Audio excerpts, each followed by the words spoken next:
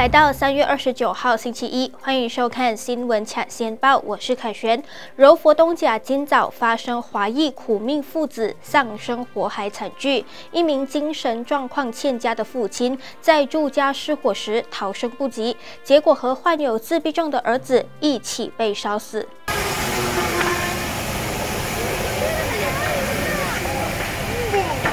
这起夺命大火今早十一点左右，在东甲第一新村曼家路附近的一间双层半砖板屋发生。死者为五十二岁的黄天才和十九岁的黄玉龙，两具焦尸在住屋二楼处被发现，仅相隔四公尺远。死者黄天才的妻子在十年前自杀身亡，两父子便相依为命，住在该处。由于儿子患有自闭症，经常被锁在屋内，而死者生前因精神恍惚，没有工作，仅靠亲友给钱过活。死者的姐姐今天刚巧趁着假日，随团从仙山到东甲一日游。抵达东甲不久后，便听闻祖屋附近发生火患，心里觉得不安，于是要求旅游团的导游载她到祖屋看看，却惊见老家正被熊熊大火狂烧。警方初步排除蓄意纵火的可能性。镜头转向八珠八峡，一对新人昨天下午在百年祖屋举办订婚仪式，岂料仪式还没有开始，祖屋就着火，现场聚集百名亲友惊慌逃命，新娘的父亲更因为受不了火烧祖屋的打击而当场晕倒，场面混乱。据悉，这是一间最近刚装修的百年祖屋，起火原因疑似漏电引起。一名替新娘化妆的化妆师逃离火场后，用视频拍下火烧屋的骇人情景，惊魂未定，哭诉惊险历程。尽管如此，新人照旧在灾场附近一间亲戚的家继续未完成的仪式。由于东西全被烧毁，新郎只能为新娘戴上戒指，简单完成订婚仪式。公寓居民今早看向窗外，原本想悠闲欣赏户外风景，怎么知道映入眼帘的却是附近积水池里一具再浮再沉的发肿男尸，让民众当场吓坏，立刻报警。这宗浮尸案件是今早十一点在芙蓉新城五级甲巴央国小附近的水利灌溉局集水池被揭发。男浮尸被发现时，脸部朝下，上身赤膊，下半身仅穿一条像森州 SWM 环保公司工人制服的橘色长裤。由于现场出现消防车、大批警车，十分大阵仗。附近商家和居民接到现场围观消拯员挖人打捞尸体的情况。警方见证组在现场仔细检查尸体后，未发现任何可疑伤痕，现场也没有他杀的痕迹，初步把此案列为密闭案处理。不过，尸体已经出现严重的浮肿，面目全非，警方暂时无法确定死者身份。文东发生严重交通事故，一辆国产迈威疑似超车不遂，在反方向车道与托格罗里相撞，造成四人身亡，其中两名更是年幼孩童。这起事故今天凌晨三点左右在文东往劳屋路段发生，车内四名乘客是两名女子和两名男童，当时皆受困车内。消防员抵达现场后，马上动用救援工具将夹在车内的乘客救出。可是，两名女子已经当场丧命，两名男童则在送往文东医院急救后宣告不治。镜头转向登嘉楼，一名刚结婚一星期的青年，因为无法出国和跨州，便在昨天安排家人和岳父一家人到肯义湖度假，但下水游泳时不幸失踪，至今还没有找到他，相信已经遭遇不测。警方指出，勇气不凡的青年不听妻子劝告，坚持不穿救生服下水，结果相信是腿抽筋，最后在湖里失踪。当局目前还在极力展开搜救行动。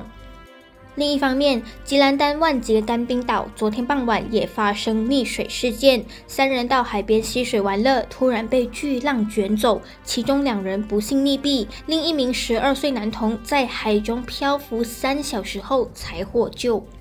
警方指出，其中一名死者是退伍军人，为了要救被巨浪卷走的男童，反而赔上一命。拯救人员在事发三小时后，在距离岸边三百公尺远的海域发现男童漂浮在海中。当时男童显得非常疲累，事后被紧急送院治疗，目前情况稳定。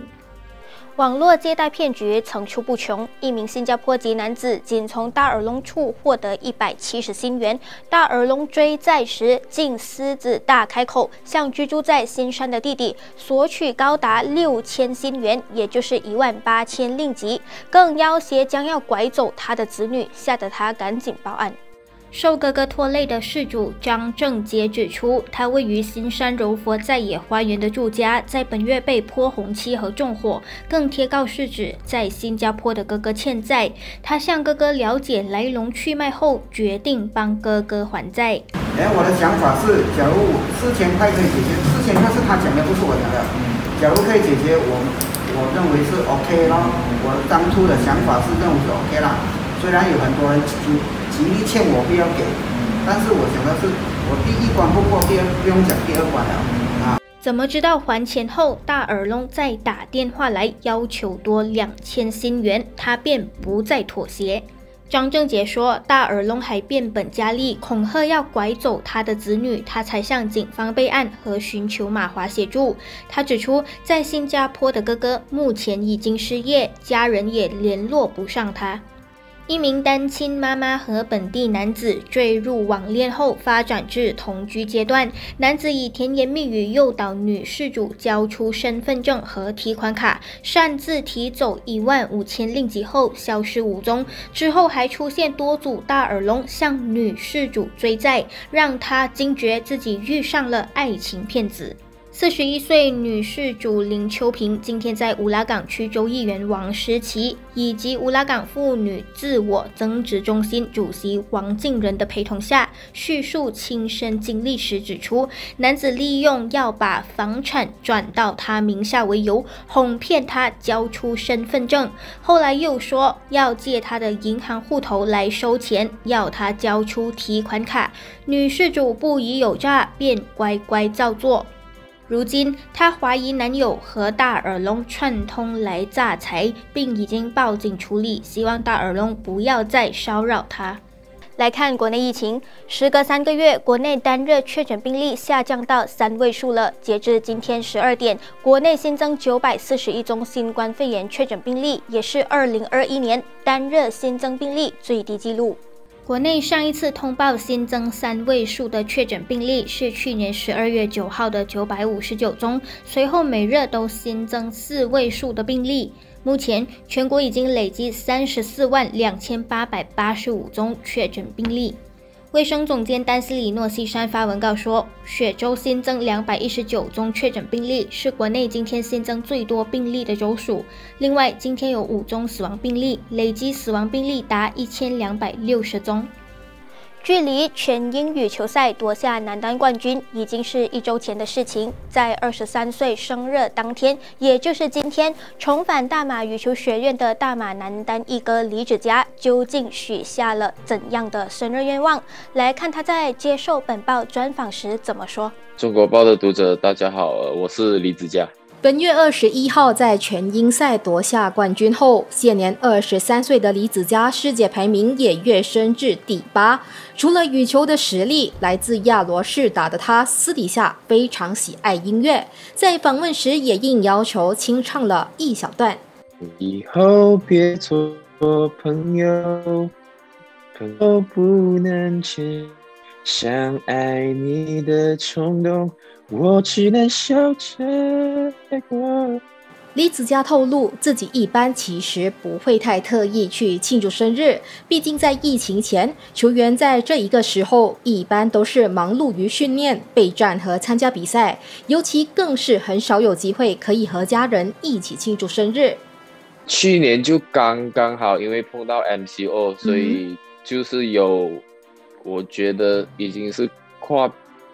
也不懂几年是很多年了才有第一次，就是在家里还跟家人一起庆祝生日，因为通常有时都是碰到家人刚刚好上来 KL 啊，或者是提早帮我庆祝生日之类的。被问到自己的生日愿望，李子嘉就许愿，接下来要继续脚踏实地去实现他的梦想。当然，就是全英赛对我也是一个很大的一个信心，给我很大的信心。是，当然我也不希望就是。呃，得到这个冠军就会自满、不专心啊之类的东西，而影响我未来比赛的一些成绩。和家人关系良好的他透露，从小父母就对他非常严厉，虽然小时候不能理解，但如今却很感激。长大的时候，就是慢慢就是体会到他们的用心，就是有可能他们没有那么严厉的话，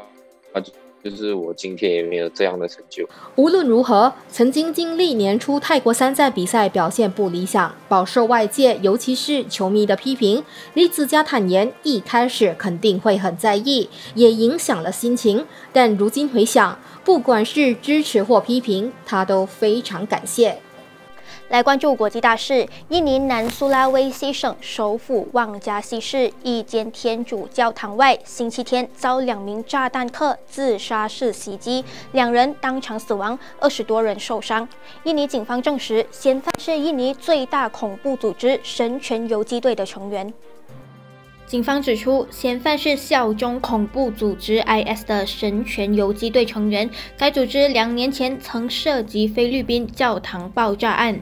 两名炸弹客是一男一女，趁着复活节前圣周首日，骑摩托到教堂前引爆炸弹。当时教堂弥撒刚结束，造成二十多人受伤。印尼总统佐科威也严厉谴责这件事。